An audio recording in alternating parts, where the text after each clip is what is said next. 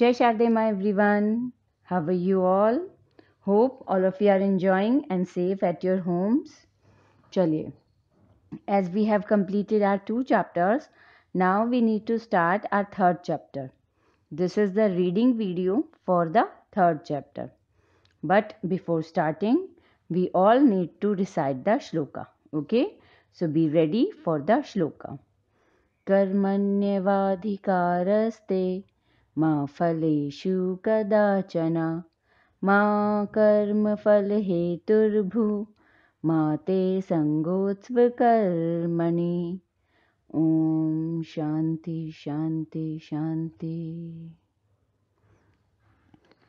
Hello students चलिए let's start reading of chapter number three that is weather and climate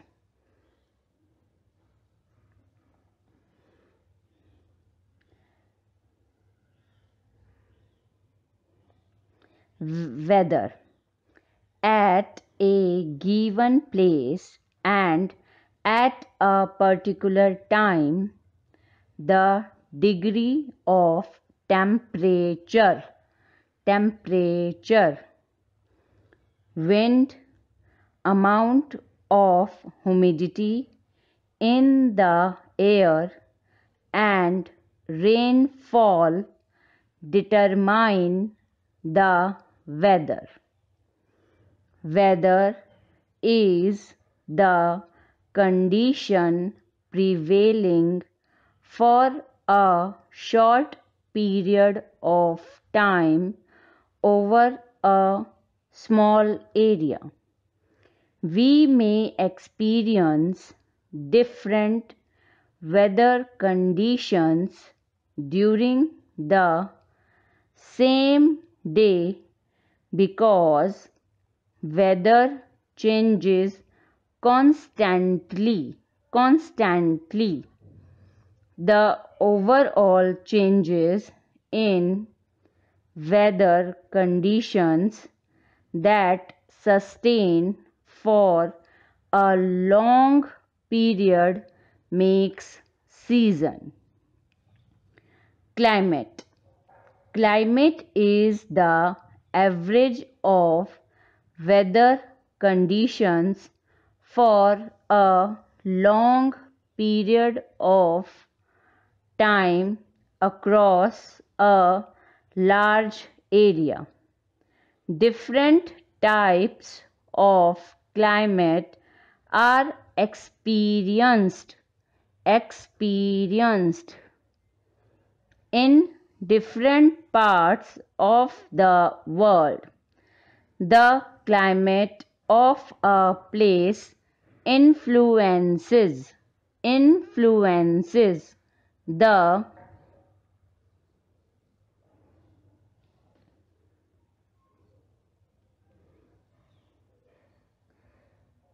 lifestyle of people crops grown clothes worn, food eaten, and houses built. The climate also affects the life of animals and plants found in a region. Factors that determine climate distance from the equator.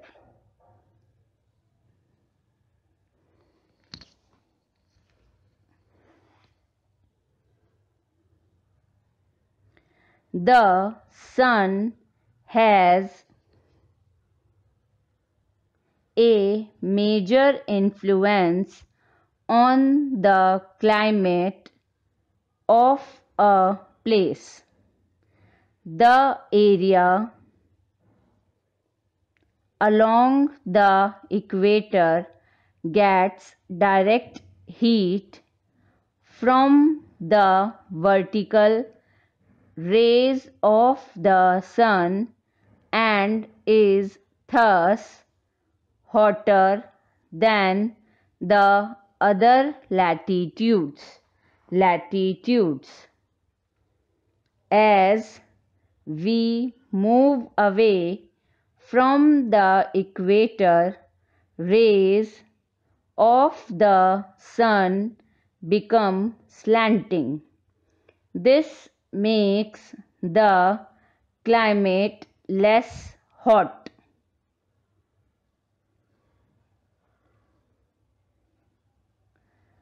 Height above the sea level. The height of a place above the sea level is called the altitude altitude of that place. The higher we go the cooler it gets. Places located at higher altitudes are cooler than places located at lower altitudes.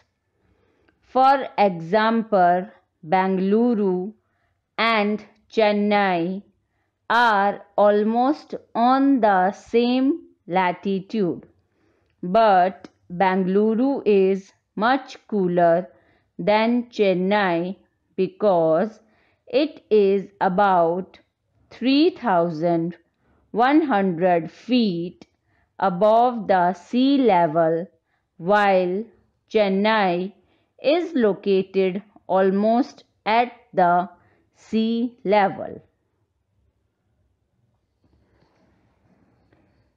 Distance from the sea.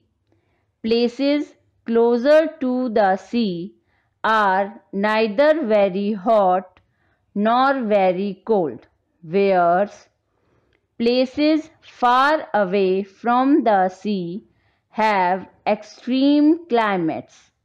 Delhi is very cold in winter and very hot in summer because it is far away from any sea coast. In summer, the breeze from the sea cools the hot air on the land, while in winter the warm breeze from the sea prevents the air on the land from getting cold. Sea breeze is warm because water cools down slowly. That is why Mumbai, which is near the sea, experiences a moderate temperature throughout the year.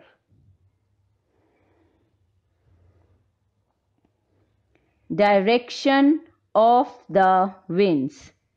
Winds influence the weather of a place depending on the place of their origin. The winds coming from cold regions decreases the temperature in the region, whereas the winds coming from hot regions increase the temperature of the region. The winds coming from the sea make the region humid.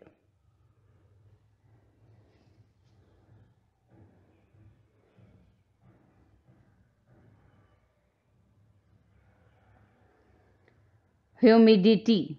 Humidity the amount of moisture or water vapor in the air is called humidity. It affects the climate of a place. Winds blowing from the sea have a lot of moisture in them. That is why places near the sea, such as Mumbai and Chennai are very humid. The rainfall that a place receives also depends on the level of humidity in the air.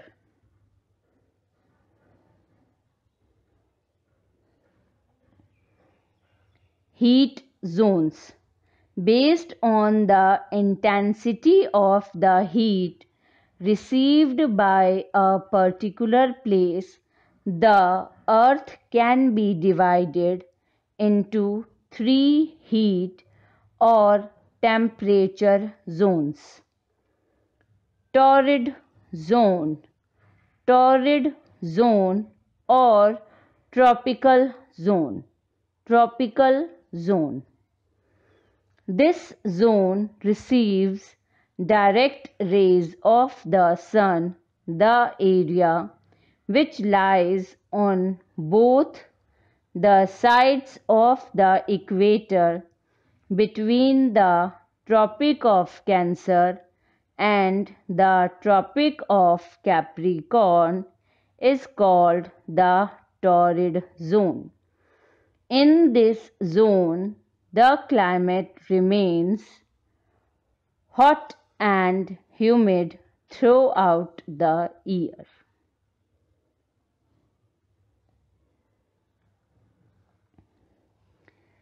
Temperate zone. Temperate zone. This zone receives slanting rays of the sun, the area which lies between the torrid zone and the frigid zone in both the hemispheres is called the temperate zone. This area is neither very hot nor very cold. Frigid zone. Frigid zone.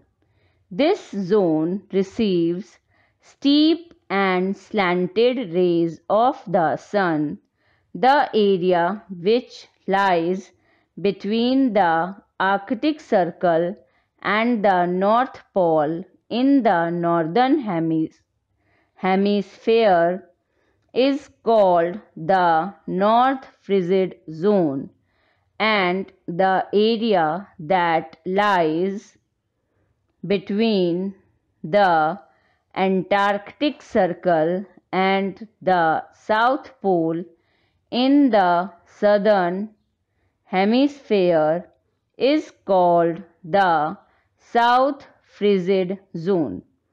The frigid zone is extremely cold throughout the year.